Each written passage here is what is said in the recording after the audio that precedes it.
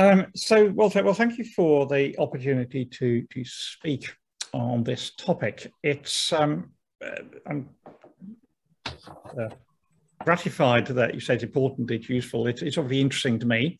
Um, from my background is in information science, library science, documentation.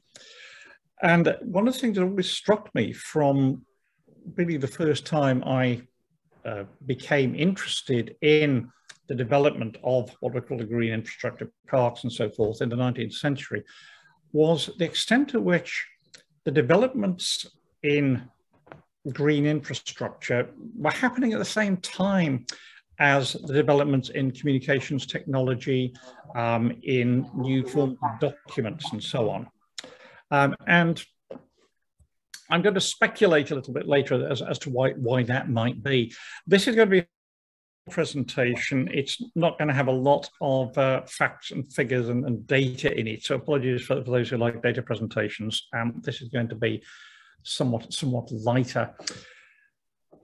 Okay, and also I am very fortunate in, in having, in speaking last, because that means that I can take advantage and quote, and I shall do, and uh, quite unashamedly make use of some of the things that have been said in previous sessions, because a number of speakers have made some very interesting points relevant to what I'm going to say and given me a very good lead in for that.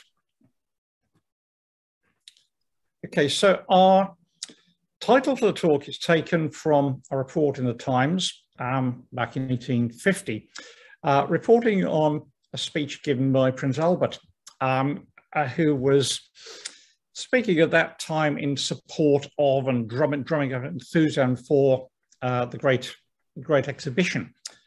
And the says he talked of what a small world it was becoming, modern transport shrinking distances, scholarship making all languages intelligible, revolutionizing communication. Knowledge above all was being transmitted as never before. And that's really the, the theme for this talk, that during the period we're looking at, 1830, 1880, um, knowledge is being transmitted as never before through several different kinds of media, as we'll see, through several different um, ways of conveying knowledge, but all being driven by essentially the same thing, which is the application of mechanization and steam power to the transmission of knowledge. And that goes for printing, books and journals, transmission, postal services, people traveling around. Um, as Richard will say, they all, they, they really, really go together. The period 1830-1880 is a, a, somewhat arbitrary one. Um, it's, it's obviously quite significant in terms of green infrastructure, but we can also explain quite well in terms of the approach I'm taking, because in 1830, uh, Lyell's Principles of Geology was published. And you, you may say, well, what have the Principles of Geology to do with the green infrastructure? Well, this book is generally considered to have been the first modern popular account of natural history. And it was followed up very quickly by uh, books of botany, books of horticulture, books of park design, etc., etc. Lyell really sets the tone for it. It's first bestseller, if you will, um, in the natural history area.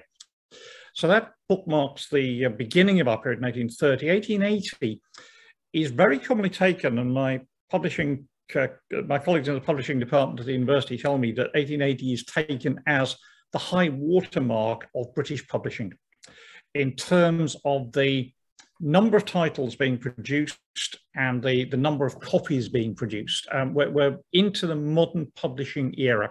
And this, by the way, is going to be very much a UK-based talk. I'll, I'll, allude to transatlantic uh, links and to links with other countries, but um, I'm sticking with what I know, which is really the UK situation. And by 1880, we have this very, very large amount of printed material, which there had not been before. It was a real transition, a real phase change, somewhat akin, I would argue, to what we've seen with the internet and social media nowadays.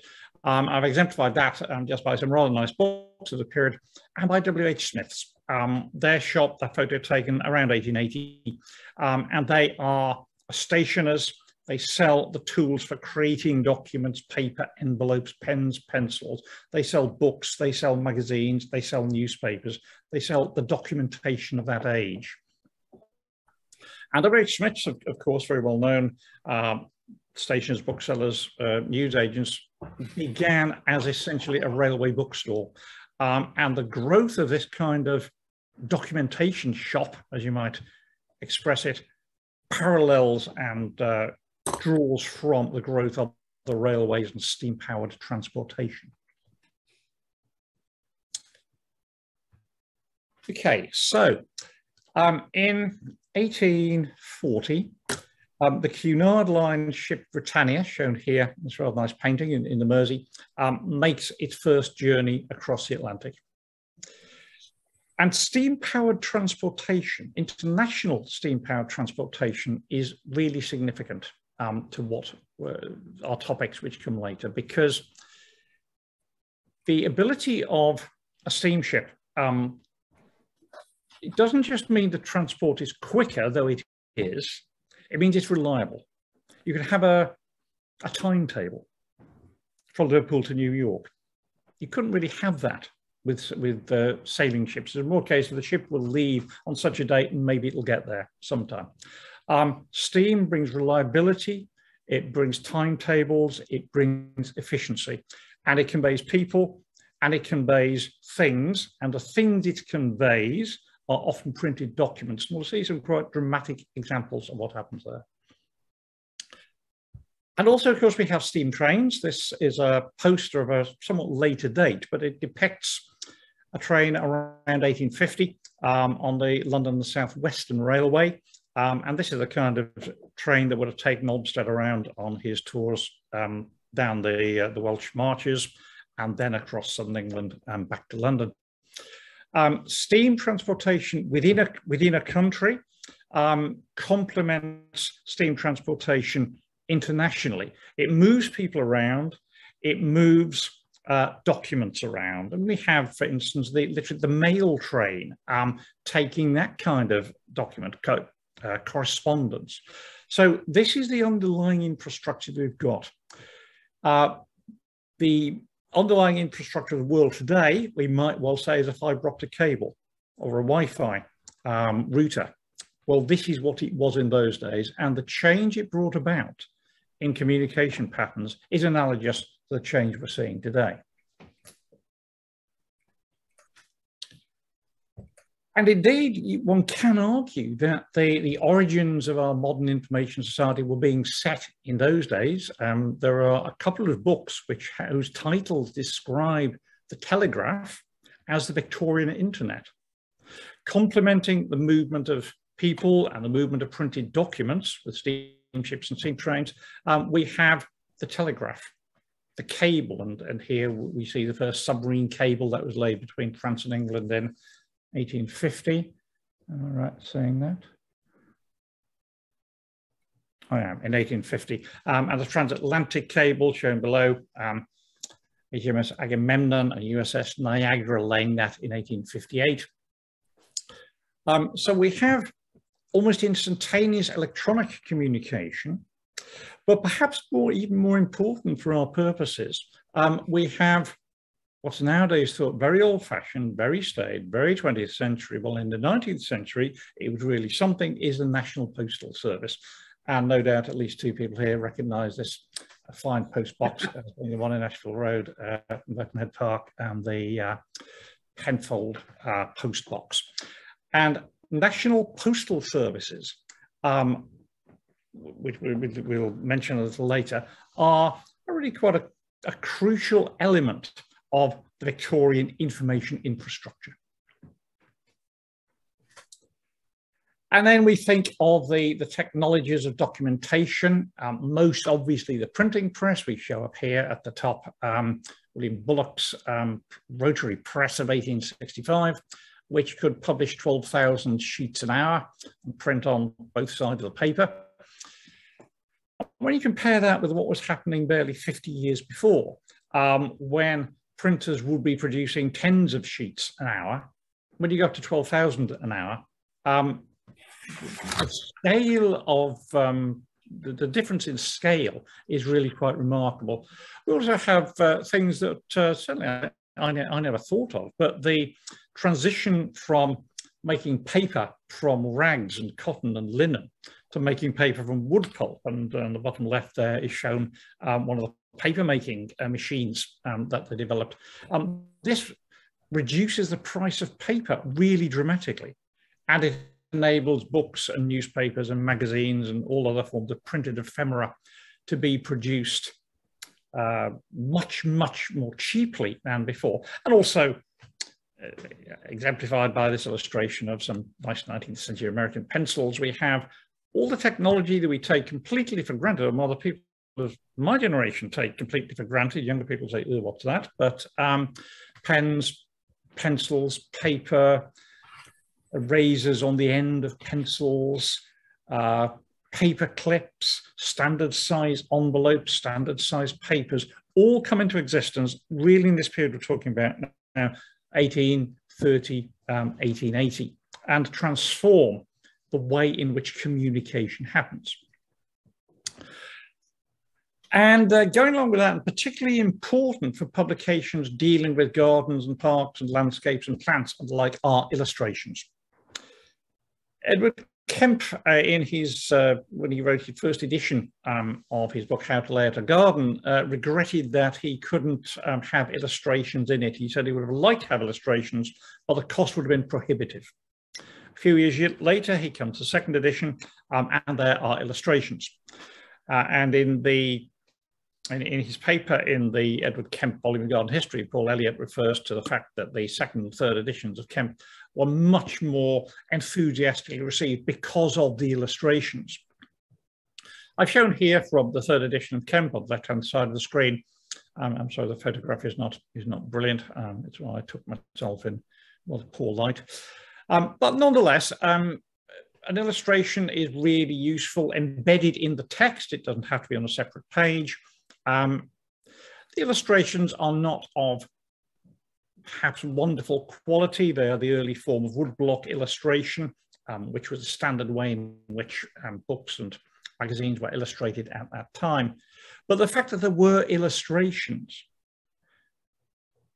totally, I think it's fair to say, totally changes the way in which information on a what shall we say, uh, an, an image-rich topic, if you like, a topic which can be very much enhanced. Um, its presentation by illustration is, is very great.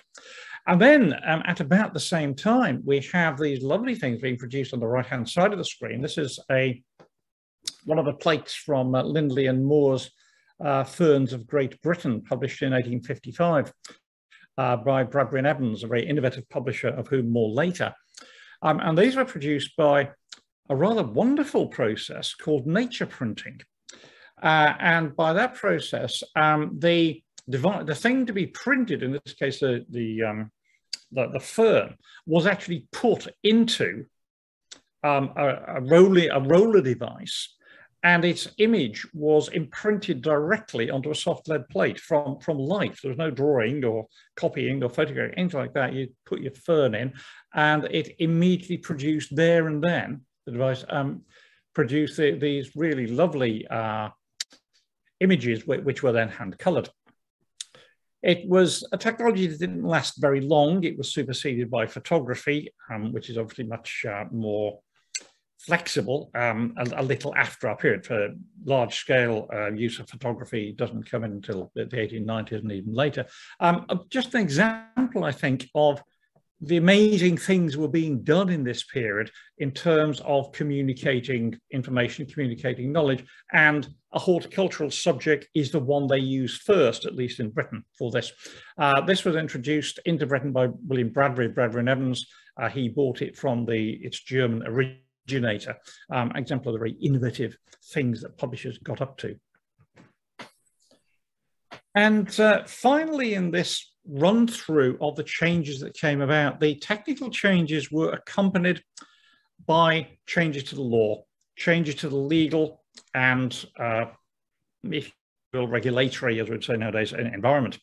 Uh, and in particular, the so-called taxes on knowledge, taxes which were charged on paper used to produce books and newspapers and magazines were slowly uh, removed. The example here, as you see from the slide, uh, from 1841, an issue of the Gardener's Chronicle has a stamp on it to say that uh, the tax has been paid.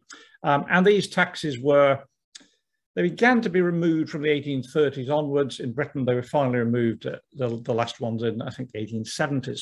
Um, and again, this means that documents of this kind become cheaper, become much more widely available, make a much wider impression. I said I'd make a remark about uh, the influence of steam steamships um, in conjunction with, in synergy with the steam power document production. Two little vignettes here from um, transatlantic uh, publishing. In Britain, there was there was copyright legislation. It wasn't as uh, elaborate it is nowadays, but there was copyright legislation. At that time, that was not very well developed in the United States. It was a bit more of a free, a free for all. What that meant is that American publishers really valued speed. They wanted to be the first to get out um, with an, uh, an edition of a European book, if they could. If it could be the authorized edition, if they could say they got an arrangement with a British or European publisher, so much the better but speed was the thing. And two just little examples of this, um, Chambers of Edinburgh, who were one of the um, very innovative publishers at that time, they were pioneers in using steamships. They were the first people to use steamships to convey printed material. And they used them to go to bring uh, the materials which they published in Edinburgh down to London. And again, it wasn't done for speed because a, a sailing ship could uh, given a fair wind, do it as quickly or quicker. But steamships are reliable. Steamships have a timetable. Steamships are fitting into the modern world of control and uh, managerialism, if you like. So Chambers say steamships are good. And they immediately, as soon as Cunard um, starts their transatlantic journey, Ch Chambers say, we want our material on there. We want that to get to our American publishers, our American partners, faster than anything else. And an example of what the American publishers could do is Harper's, um, the publisher of, of, of, that time, still around nowadays in a slightly different form. And the claim they make here is in the New York office, they had 28 steam-powered presses of the sort that we saw earlier. and the claim was that they could take the proofs of a book off the uh, a ship when it got into New York docks and they would have it on sale in the streets, in the bookstores within 24 hours, which is, I'm not sure a publisher nowadays could, could necessarily do that.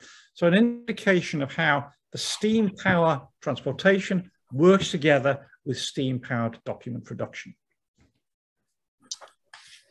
Okay, um, that's the end of the first part of this talk. And normally I would say, are there any questions? But I will just carry on. Um, I, and we'll take them at the end, uh, I decided to look at the communication knowledge for the green infrastructure, our main topic, under four headings. Um, and these are not totally watertight, and you might uh, prefer a slightly different breakdown, but uh, we'll, we'll try and go with this one. Um, visits, correspondence, the publishing of books and journals, um, that's to say essentially the publishing of specialist material and the publishing of general material, newspapers, magazines, and other sort of ephemera. Now, none of these are new. Let's be clear about that. None of these come into existence. People have been traveling around visiting things and visiting places. They've been writing to each other. They've been having books for millennia, literally. But they are transformed. They are all of these are transformed by the Victorian communication revolution. We'll see how with some examples. Let's take visits. The map of Olmsted's well-known travels in England. He comes to uh, Liverpool by steamship, goes by steamboat across the Mersey, and then proceeds by steam train, essentially down the Welsh-English border and makes his way back to, back to London, uh, and uh, gathering knowledge as he goes. Could he have done that before this communication revolution? Of course he could. People have been traveling across the Atlantic before. Would he have done it? I don't know. Maybe, Maybe not. Certainly, he found it a lot easier, as did the others um, Downing Cleveland and the rest, um, whom we heard in early sessions, visited Europe, visited Britain. Pardon me.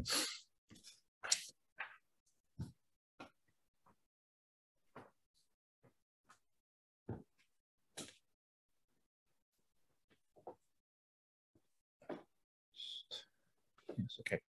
Um, so, tra so traveling around, traveling internationally, traveling within nations, um, specifically to see something that then very often resulting in, in Olmsted's case, a journal article followed by a book um, was very common. Also, almost the incidental influence of travel. Uh, Kemp, for example, in his preface refers to his travels through the suburbs of uh, London and the other big cities, and one presumes that he was traveling by train, looking out of the window, um, and seeing the gardens of the houses he goes past and being unimpressed by them and feeling he ought to offer some, some advice. Um, travel is becoming much easier, much more structured, much more reliable. Um, and that's one very significant way in which knowledge is being exchanged. And we've had uh, examples, in particular in the second session um, of these talks, uh, of very specific examples of other people who, who traveled typically transatlantically um, or throughout the USA um, and the, the influence that had. Correspondence, writing to people, well, again, that isn't new. People have been writing to each other for, for a long time.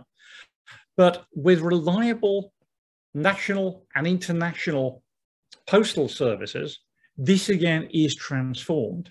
Um, and it has a big effect. On the left-hand side here, um, we have a letter from Charles Dickens, um, who is writing to complain about the fact that it is proposed that the Sunday delivery of post be stopped in the place where he lives um, in, in Kent. And he actually says, if this happens, if I don't get my Sunday mail delivery, that will affect my activities so much, I'm going to move house somewhere where we do have a Sunday mail delivery. Um, it really matters. And of course, many of our protagonists in the green infrastructure were enthusiastic writers and correspondents, and I've represented those here on, on the right by Edward Kemp, uh, writing to Joseph Paxton in 1843 um, about his editing of the magazine of botany, and that's from the uh, archives at Chatsworth.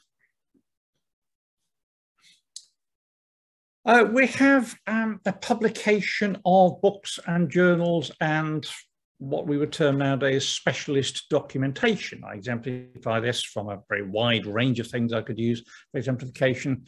Um, pardon me, uh, by Joshua Major's, um, Theory and Practice of Landscape Gardening, uh, published by Longman, one of the more important British publishers in this subject area, and The Gardener's Chronicle, uh, published by Bradbury and Evans, um, another uh, one.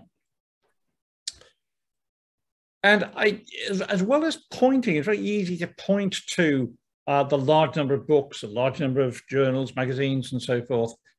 We got a, an environment here which is becoming very, very conducive to the exchange of knowledge, exchange of information as being very important um, for the practice of horticulture, landscape design, and uh, all the other activities. And uh, quote Loudon here, um, right at the start of our period, um, showing how important he thought books were to the gardener. And it's worth bearing in mind, I don't have time to dwell on this, um, that at the same time as this is happening, um, we're finding the expansion of, certainly in Britain, where my remarks are focused, but also in other analogous countries, expansion of formal education, um, many more literate people, many more people getting in the habit of reading things, um, and also the expansion of, if you will, a documentary infrastructure, which I exemplify here um, by this uh, painting of the lovely old reading room at uh, the Birmingham Library just after the end of our period in 1881. So this is not happening just to people interested in green infrastructure, it's happening generally, but the people we're interested in are at least taking a full part in it and maybe uh, to a large extent taking the lead. just to make a remark about the international aspect of this, a couple of examples here. Um, Kemp's book, um, we see here on the left-hand side, published in London uh, by Bradbury and Evans, we've mentioned before, um, published then in New York by Wiley, or Wiley and Halsted as they were at, at, at that stage. Um, and they clearly have an arrangement between these two publishers. And Wiley are the, the, they're doing the approved edition of Kemp. I don't think anybody else tried to do a pirate edition, but Wiley had had the approved edition. They had an arrangement with Bradbury and Evans. On the right-hand side, um, we've got Downing's book, um, which is being published simultaneously in the US by Putnam's, in Britain by, by, by Longman. Um, so different kinds, slightly different kinds of arrangements being taken here um, to, to get books published internationally. It's interesting to, to look at how um, I think it's fair to say that the, the transatlantic links, Britain and America, um, were done much more formally in this way. There were much more arrangements between publishers. We think of the way other international links were, were handled. Uh, Kemp's books, for example, were, were very influential in Australia. Um, and in the countries of the empire, as it was, it would be much more normal for the book simply to be sent out by the British publisher, Bradbury Evans in this case, um, and sold through bookstores in those countries. Um, it's really the the um, the US British link where we see most of these formal arrangements between the different publishers. And another example of this uh, international publishing activity, again from Charles Dickens, um, and he's writing here to uh, Frederick Evans of Bradbury Evans, his publisher, um, and saying here are the, the proofs of uh, his Dickens edits the proof of David Copperfield, and he asked Evans to, to, get a move on and send these off to Mr. Tauchnitz of Leipzig, uh, who is translating um, the book and, and putting it out there. So here we have the National International Postal Services being used to uh, promote the sale of uh, translated issues, uh, editions of these books. So far as I'm aware, and those here may know better than I, um, there wasn't much in the way of translation of books relevant to park design, to horticulture, to the green infrastructure. Not much translation between English and other languages. Um, that, that at least that I'm aware of. But it was, you know, they, they, were definitely part of this international exchange of documents, international exchange of knowledge. Bradbury Evans, we've mentioned them before, and they're worth another little mention as being perhaps of all the British publishers, the ones who were most closely associated um, with the production of books and magazines uh, relevant to the green infrastructure. They published Kemp, they published Paxton, they published uh, the Gardener's Chronicle, they published Handbook of Gardening. Um, I mean, to get the Gardener's Chronicle magazine was founded by uh, Paxton, Lindley, Dilke, and William Bradbury. And William Bradbury um, was a personal friend of Paxton. Really interesting to do a kind of social network analysis and try and work out just how significant that personal friendship between um, Bradbury and Paxton was in, in developing this. Uh, as with many publishers, they began as printers. Um, as you see left-hand side, printers extraordinary to the Queen. Um, and then they developed into publishing. Um, they didn't by any means just publish material relevant to parks and gardens. They published Dickens, they published Thackeray, they published Punch magazine and so on and so forth. Sadly, all that remains of them is this plaque uh, now, which I show on the left-hand side there, um, in Bouverie Street, um, just off uh, Fleet Street. Uh, when I last saw it, it looks particularly melancholy because it's attached to uh, a closed branch of Sainsbury's, um, which didn't survive the pandemic. So it has a bit of a end of the world feeling to it. I would to go up and it says publishers Dickens and Thacker. I would go up and put and Edward Kemp. But anyway, um, they were very, very um, innovative publishers. We've already seen they were they were innovative in illustration and using the nature printing approach. They were among the earliest adopters of the very high throughput uh, presses. Um, they were, I mean, They were among the people who won a test case um, against the government on these taxes of knowledge when, when to uh, say that their, some of their materials shouldn't be taxed. Um, so they are, I think, a, a, real poster boy example, if I would put it that way, for, for the way in which publishers who are very, very closely associated, one or the other British publisher, um, with documents supporting development of green infrastructure, also right in the lead um, in the communications technology revolutions. Okay, that was books and journals. What about newspapers? General newspapers. Well, here's a couple of examples. Um, 18, check that, 1850 on the left, The Observer is uh, relating the latest stage in the uh, long saga of the development of Finsbury Park in North London. On the right, the Manchester Guardian is writing about Queen's Park in Manchester um, and how it's suffering from, from the smoke and so on. And I think it is inarguable um, that there was much more coverage of green infrastructure issues in the newspapers of those days than there is nowadays. Now, I say that without being able to back it up with any data. It'd be really fascinating to do a content analysis and prove that that was the case. I'm sure that it is. However, one thing to note is that the newspapers of those days did not have illustrations. Um, so we have to use our imagination when we read that Queen's Park article to envisage the, uh, the really pretty park which they describe and the uh, damage wrought by, by the smoke and so on. Um, so we consider it today a little bit indigestible, but uh, nonetheless, uh, it was a very important way that ideas about public parks and other aspects of green infrastructure get widely disseminated. The other means by which it uh, was widely disseminated was illustrated magazines and most particularly the Illustrated London News. Um, and uh, a, a, number of authors have drawn attention to the importance of, of, this particular magazine, Illustrated London News, in writing about park design and the like. I've exemplified that here um, from this issue in 1863, uh, where they write about the new flower garden in Regent's Park in London. And the paragraph I've taken here is just one, one part of a paragraph from a very lengthy and detailed and rather critical article of a sort that I really don't know where you'd see it nowadays, other than in a very specialist magazine aimed at or journal aimed at professionals. Um, and yet, this is in a very wide circulation general magazine.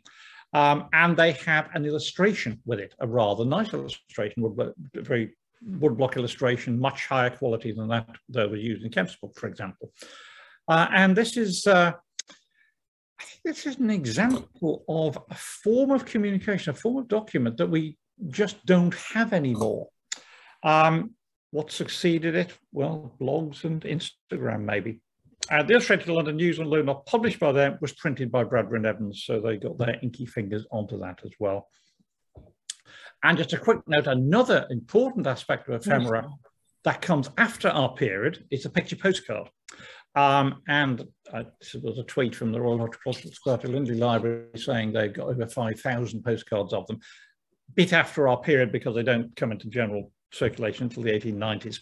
Um, but again, as with that Illustrated London News, a way of conveying ideas about the green infrastructure that's almost entirely gone now. Who sends postcards nowadays? Um, what succeeded? Well, I suggest, let's say, blogs and Instagram. Coming towards a conclusion then, we're I, I, I thought I should I literally well, intended to start off by asking the question, well, we talked about these four things, visits, correspondence, specialist documents, more general interest documents, which was more important? And I didn't do that because it's a, it's a rather silly question. It's an unanswerable question, but nonetheless, I, let, let, let, us have a go. Um, first of all, it's very obvious they go together, they're synergistic. And a wonderful example of that came from a video session, the video conference session that, was done in the Conversation with Olmsted series um, produced from the US, Olmsted and the Writing Life, which talked about Olmsted as uh, a traveler, a book author, um, a journal article author, an editor, a correspondent. Um, he, he, he was as much a writer as he was anything else. Um, and it all seems to go together. Um, and one can look at lots of examples of how, I'll stick with Olmsted, Olmsted travels, he writes an article about his travels, the article is well received, he writes a book, the book is well received, similarly to other people travel and so on. There's a synergy going on here. Well, let's try and give an answer anyway, since I've asked the question. Um, and with Edward Kemp, I'll say this is, this was a bookmaking age. I think the books are really what is central um, because it's a, when you look at how the knowledge is being spread, there's often the books are in there. The books are central. The books are what link the other things together. And of course, the books were perhaps accessible to a very wide audience who maybe couldn't travel, didn't have people to correspond with.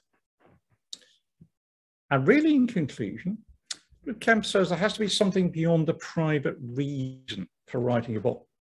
There should be something beyond the private reason for me presenting a talk like this, but the fact my private reason is I think it's interesting. Uh, I think that firstly, this is a really interesting part of information history.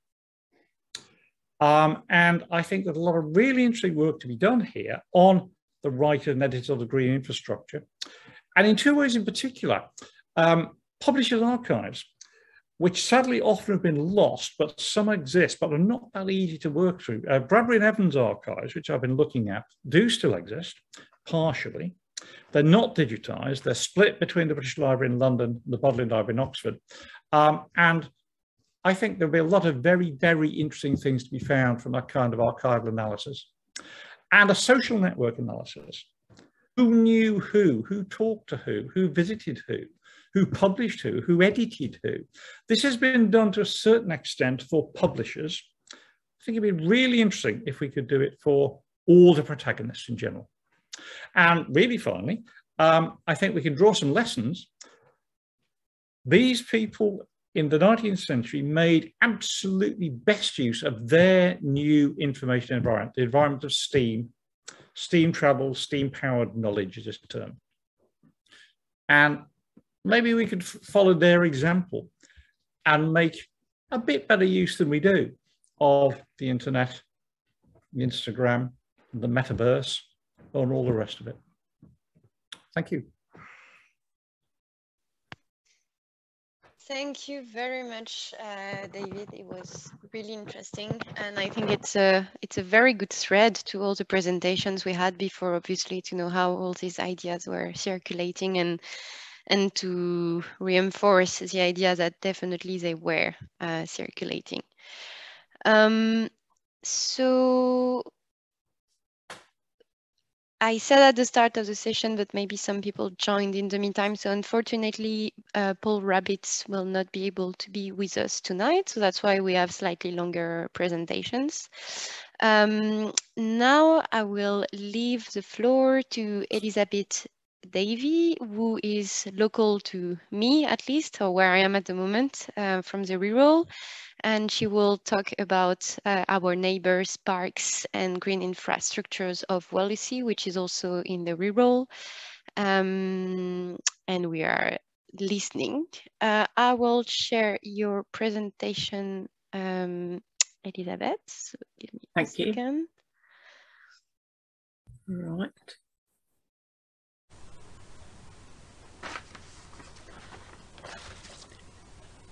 The aim of this presentation is to explain how a borough adjacent to Birkenhead developed its parks, its promenades and its pleasure grounds, in fact its green infrastructure, in a very different way from Birkenhead, its close neighbour.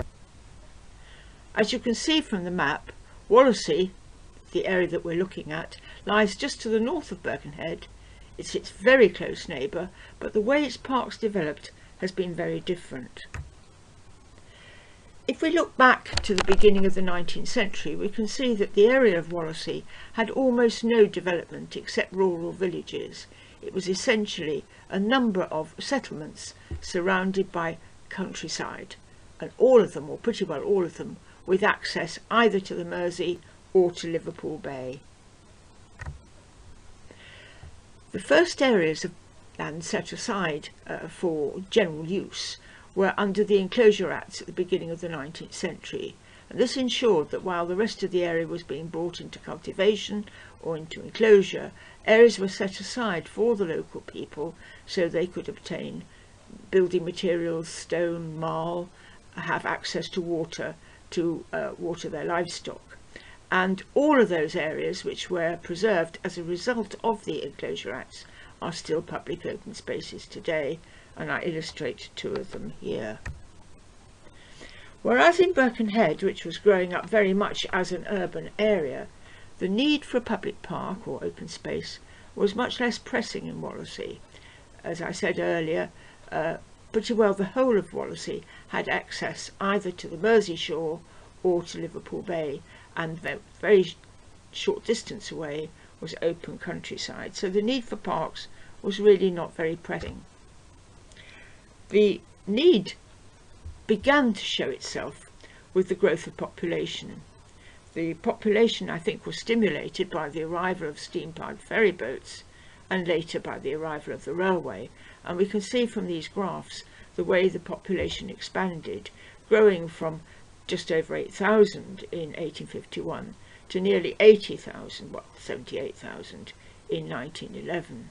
And the awareness of the need for preserving open space is made clear in the report of the Wallasey Local Board, where we can see they say the need of open places will soon be felt in the district. That is 1899. And we can see from 1891 the way in which the population is rapidly expanding. Well, as it expanded inevitably as so in so many urban areas, the property that was developed was not like the old rural villages. It was high density housing, many properties opening directly onto the street with almost no area behind, perhaps a little yard, perhaps an alleyway, but little more than that. So very high density housing. And again, the local board was aware that the problems that this was presenting, and they said, at the rate the district is developing, there will not be an acre of land available in 20 years. So by 1896, the need for a park was very pressing. However, it wasn't in the gift of local authorities, unless they had specific legislation enabling them to do so, to go out and actually purchase land. Uh, this was made general by the Public Health Act of 1875, which said that funds would be available from central government. Um, people were becoming aware of the health dividend of parks so under that Public Health Act, local authorities were empowered to raise loans from central government for the purpose of acquiring land for recreation. They were also allowed to receive land that it was gifted to them. And so in fact the first park in Wallasey was not created by the local authority itself, but as a result of a donation of funding from a philanthropic donor. So it came about in 1883 um, more or less four decades after work had begun on Birkenhead Park, so it gives some idea of its historical context, when a very small area of land was gifted to the parish as a recreation ground. But this was just the beginning. There were a number of other uh, donations later in the history of the area. But of course, under the 1875 uh, Public Health Act, the authority was allowed to purchase land, and that land became available uh, with the death of the owner of a large private estate and 1889. 15, 50 acres we can see here of land, um, Liscard Hall, and it became Wallasey's first and largest public park. Many advantages to purchasing a pre-existing estate as I think you can see from the map, in that the land has already been landscaped. It, areas are set out as lawn, uh, there are paths, there are shrubberies, uh, there are planting of trees, and there is even, though on a very small scale, a bit of ornamental water. The park was the large hall. This had belonged to Sir John Tobin and had been bought uh, by the Wallasey Local Board. It opened in 1891 and the hall itself had a number of functions. It um, not only provided accommodation for the people working in the park, very often a, a characteristic of parks that accommodation was you know, made available for park keepers. But it had a cafe, which raised revenue, and very soon after its uh, purchase, it became the seat of the Wallasey School of Art. So a building that was loved by many generations of people in the area, but which has sadly been burned down. Apart from the hall and the pre-existing landscape grounds, one thing that the um, park keepers or park designers were very keen to include was a lake. As I say, there had been one small area of ornamental water, but here we can see the actual lake as it was dug in Central Park. And in the same way as the lakes in Birkenhead Upper and Lower Park were created, what was dug out of the lake was then spread on the surrounding land to create a sort of a, a topographical feature, if you like. Hillocks, one could describe them as, though in fact um, they were described as something rather different. So who is going to do this uh, laying out of the park? Well, there are already the borough surveyor, the, the authority surveyor, people like that, but it was decided that even as late as 1890, when the features of parks were generally accepted, they needed somebody to design it. And so we see here an advertisement that was placed in the gardening press for a landscape gardener. What's interesting, I think, is that it tells us that there was already a plan made of the area. Anybody wanting to submit a design could obtain a copy of that plan. And very generously, I think, they were offering three prizes. Um, first prize, 30 guineas, second prize, 20 guineas, third prize, 10 guineas. So even if you were not successful, you might actually benefit. And in fact, when it came to the judging, uh, there was a further prize awarded to one uh, design that the um, authorities thought had merit. It was all done very, very um, democratically, and the submissions were submitted anonymously, so there was no question of anybody benefiting from being known. So work began on the park, and almost immediately people were really commenting on the healthy dividend, the health dividend. Now we were aware of this uh, during COVID when public parks and exercise in open spaces was very important to people who were otherwise in lockdown. But here we can see the report of the Medical Officer of Health saying how the acquisition of a public park um, would be of utmost benefit to the health of the population. So you know, he's praising his employers, another mark of the progressive policy adopted by the board. And here we have um, another feature, really sort of linked to health and well-being, which was a very common feature of parks at this particular period, the erection of a bandstand. Here is the bandstand in Central Park, because they wanted to bring an audience into a park, they wanted to bring them away from the evils of the gin shop. So you know, every Saturday, probably evenings in the summer, bands would play on the bandstand. And so we can see music, the finest thing to counteract the effects of the gin shop. As well as the uh, music that was being provided, there were other forms of recreation, other things to draw people into the park, and we've already looked at one of them, which was the creation of a lake. The landscape gardener James Pennethorne said that lakes were almost an integral and indispensable part of a park. But here we see from the minutes the Wallasey Council agreeing that they would create a lake. It was to provide skating in winter, or as in the case of this particular photograph, rowing boats in summer. Um, Today I think there would be issues with health and safety, but in fact nobody need have worried because though there's an extensive area of surface water, it's actually not very deep. But we can see people hiring their boats, much pleasure being had from going out on the lake. And here's the lake today. One of the features of lakes in Birkenhead Park and many lakes in parks is that they have an island.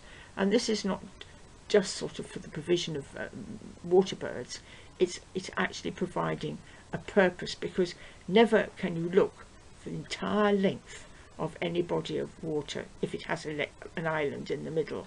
It's the case in Birkenhead. Here is the case here. So the lake and its island in Central Park. The material from the lake, as we've already said, was used to create landscaping round the edge of the park. I mean, it had been landscaped in that it was an area for the um, hall, but it needed a little bit more topography. So here we have what were described in the minutes as the trimmed mounds in the vicinity of the lake.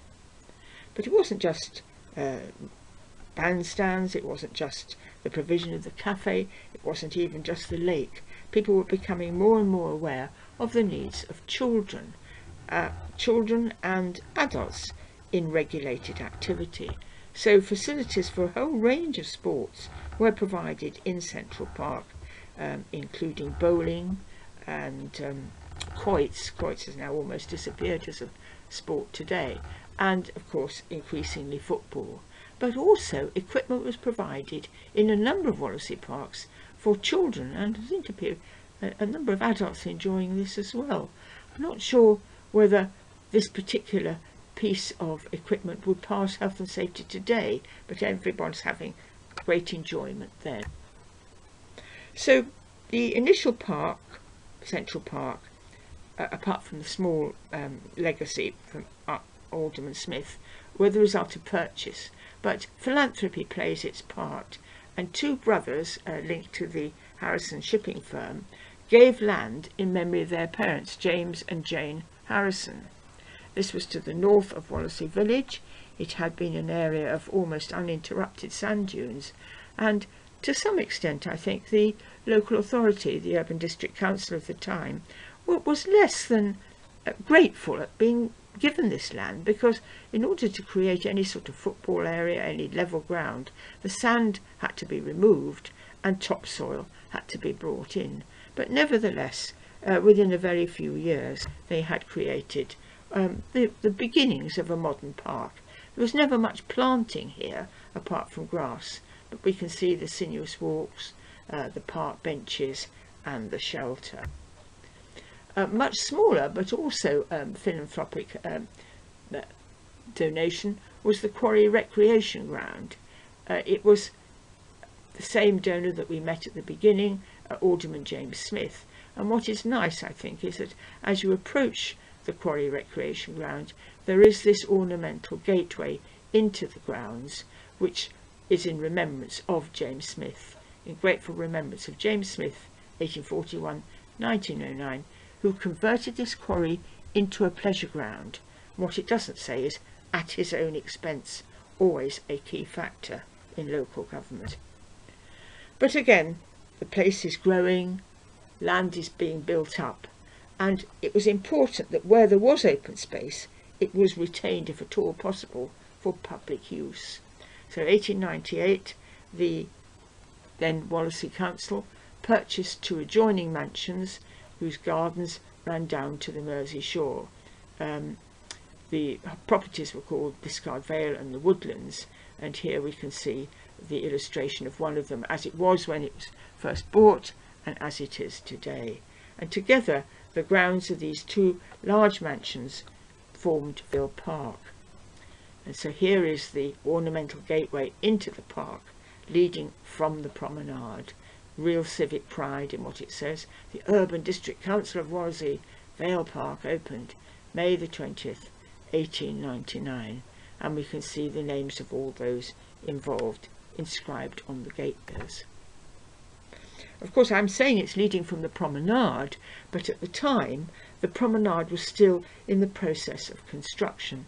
And this, I think, of all the things that the various authorities in Wallasey did over time, was probably the one which really people benefit from today and which showed real municipal foresight. And that was the purchase of all land abutting both the Mersey and Liverpool Bay on which over the years 1891 to 1906 they created a promenade which replaced the open shoreline. The open shoreline was, was fine, you can walk on the beach, but it wasn't anywhere that you could walk for any length of time or in any degree of comfort. So the creation of the promenade was a real, um, really imaginative move. What one doesn't realise, I think, just from the photographs, is that it wasn't just the promenade they created, but they also, where it was possible, bought up any stretches of open land, the old river cliff, um, and so on adjacent to the promenade. So there's an almost continuous area of green abutting the promenade as well as the promenade itself. Well, promenades are wonderful to walk on, but promenades are also places where people want to stop. And we find both in this new park, Marine Park, the northern part of Wallasey, and along the promenade itself, a succession of benches. And when you look at the advertisement for benches at the time, they are described as being suitable for promenades, public grounds and square gardens. So here we are, Marine Park, uh, people sitting, facing the sea to the north and with a shelter and somewhere bands could play if necessary. But shelters very important because this is a windswept corner of Wirral and increasing numbers of visitors were coming to the area, day trippers, people staying longer, and they wanted somewhere for them to sit even if the weather wasn't clement. So we get a progression of really very fine cast iron shelters being constructed round the promenade, many of them as uh, with uh, drinking fountains, probably coming from the Saracen foundry up in Glasgow. So we can see cast iron shelters here, and the one in the middle, uh, which is um, faced in Minton tiles, has the advantage at the back, hidden away, of public conveniences. So there they are on the promenade. But I mentioned the need to deter people perhaps from drinking alcohol. Well, if you're going to deter people from drinking alcohol, you need to provide them with an alternative. And so a feature of many, many parks are the drinking fountains. Uh, Birkenhead had a drinking fountain, um, which was also a memorial. Um, but here it's a rather unusual drinking fountain, not built by the Saracen foundry, but by another company. And you can see it's providing drinking water to people in Harrison Park. But memorials, as I mentioned, there is a drinking fountain in Birkenhead in the form of an obelisk. It's now no longer functioning, which was also a memorial to one of the Birkenhead worthies. But here we have rather a more unusual memorial. Memorial is very much a feature of public open spaces, but this one not as a result of wars of the 20th century, but as a result of a colonial war at the end of the 19th century, turn of the 20th century, the wars in South Africa. And this particular memorial commemorates the men of Wallasey who lost their lives in the South African War, 1899 to 1902. But what is unusual, well, I think unusual, is that it doesn't just commemorate those who died, it also commemorates everybody who served, so those men who returned home again as well. So Wallasey has been very well endowed with its green infrastructure. It has open spaces that were the result of the Enclosure Act. It has open spaces that were the result of generous philanthropy. It has open spaces that were created by the various local authorities over time. And it has completely ringing both the east and the northern side a promenade, places where people can walk. So access to the healthy provision of parks and open air very generous in many ways, and we can see, again, the Medical Officer of Health commenting on this. The greatly improved health of the area is largely due to the active policy pursued by the Parks and Improvement Committee in providing the promenade, the Central and Vale Parks, the new Brighton Marine Park, and also other open spaces and recreation grounds. What is interesting about this particular picture is it shows a very different style of planting to what we might have seen some decades earlier. There's been a real attempt, I think, to cope with global warming in terms of the species that are planted and in reducing the labour costs, um, the input for watering and so on, of formal bedding. So, Vale Park, one of the many parks and open spaces which make up the green infrastructure, a wonderful legacy for Wallasey. Thank you. I haven't seen any questions in the chat, uh, nor any virtual hands. Um, does anyone has a question or a comment? Well, Robert's got his hand up. Yes, you can unmute yourself, Robert. Can you, yeah.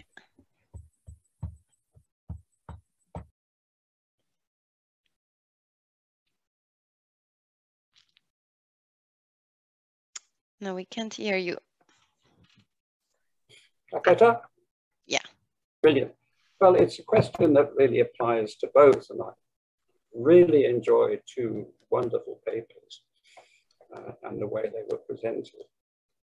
The problem, in a sense, is what were ultimately the key determinants in laying out new public parks or green infrastructure in general?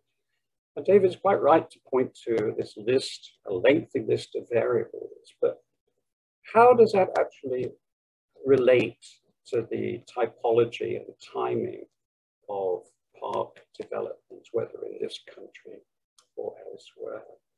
Because in a way, Elizabeth's case study, which is quite fascinating, has a different message. Um, it's conditional on the ability of local authorities to raise money, to raise loans.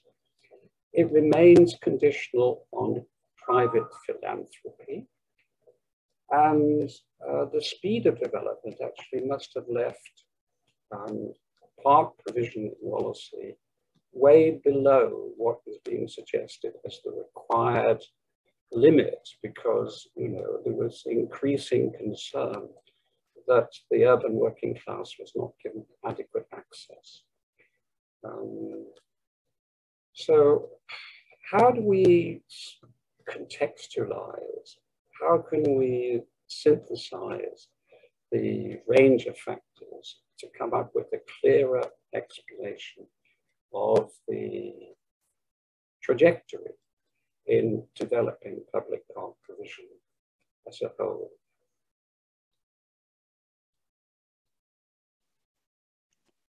David, do you want to answer this? I will have a try at that. Um, gosh, um, looking at it through the lens that I was adopting and the communication thing, um, I think what would be a really fascinating thing to do is to look at the parks that were opened, when they're opened, how they're opened, and then try and see what if anything, was was happening around them in communication sense. I mean, I gave the example of the that newspaper article about, about Finsbury Park, and obviously that that that had a very very um, delayed and lengthy uh, process before it was eventually created, um, but being really documented and pushed at each stage um, by by the press, by newspapers. I think was a, quite a new thing for that time. Um, so I, I, think what, what would be really interesting to do is, I'd say, to, to try and look at the information environment in detail around the openings and the design of each park. One can say in a very general hand wavy sense that, oh, well, as the period we're looking at progressed, there was more information available, there were more maps, there were more uh, images, there were more reviews, there was more writing. Um, and I, I, think that, that is plainly so. But how exactly that influenced, and if there was a single way in which that influenced it, or if it was just a, a rather general raising of consciousness as to what was being done elsewhere and what could be done here, which had to be interpreted differently in a different context for each one. I'm not sure. I suspect it's the latter, but um, I think there's a very interesting research project there for someone. Thank Could you very much. Up, yeah, pick up on that just in terms of the newspapers, because one of the things that I found when looking at the newspapers were letters to the editor. And there was a very lengthy letter uh, to the editor of the Birkenhead News saying Wallasey should follow the example of Birkenhead and have mm. a park um, which I thought was quite interesting. And he goes on to say, you know, the reasons why. But we forget that it isn't just the straight reporting, but that newspapers are a vehicle uh, for, if you like, the ordinary person to air their views. Thank you, Elizabeth. David Jacques, do you want to say something? Uh, thank you. Yes. Uh, I, I, hope you can hear me. Um, I, I, was interested to see the map that uh, David Borden had produced showing Olmsted's journey through England. Um, I mean, I, am rather used in the 18th century uh, to find that tourists uh, went on prescribed um, routes. You know, they had guides and uh, they were taken round in circuits. But uh, the question is, did Olmsted design his own um, tour? And if so, where did he get his information from to do so? Hey, uh, well, first I should say I, I didn't design or draw that map. Um, I took it from the US Olmsted site, and it's somebody who's actually organizing a tour in Olmsted's footsteps. He's written it out very nicely. Um, so when, when one Olmsted's writing and his description about that, um, he he doesn't really say always where he got the idea.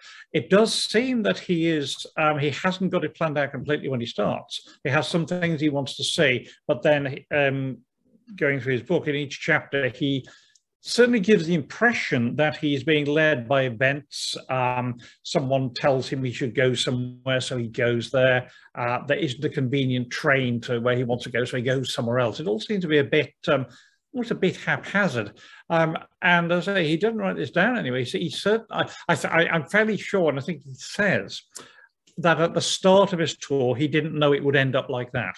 It was, a, it was a bit, it was a bit haphazard. I think he had a list of things he definitely wanted to see, but the route he followed um, and what what exactly he saw and where he went and in what order seems to have been a bit accidental and, and driven by, by circumstances. And uh, certainly at, at that stage, um, although obviously there was a rail network there and he did get around, um, I don't think there was anything like the what I call the information infrastructure. There wasn't a guidebook he could follow. Um, there wasn't a guide of re recommended routes. He, he, was making it up as he went along and clearly using local knowledge um, as he went along, being advised by the local people where he should go, how he should get there, where he should go. Um, he's probably one of the one of the first rail tourists, I think. I mean, he, he didn't entirely travel by rail. He, used some other methods, but it was largely a, a, railway tour. And he was probably one of the first people in Britain to do that and to write up his experiences. Thank you very much, David. Um, anyone has a last concluding comment or question before we talk about the in-person conference a bit? Great. Well, thank you very much to all the both speakers today and all the speakers of the previous sessions as well. I think we had a, a nice range and very interesting presentations um, over these uh, couple of months.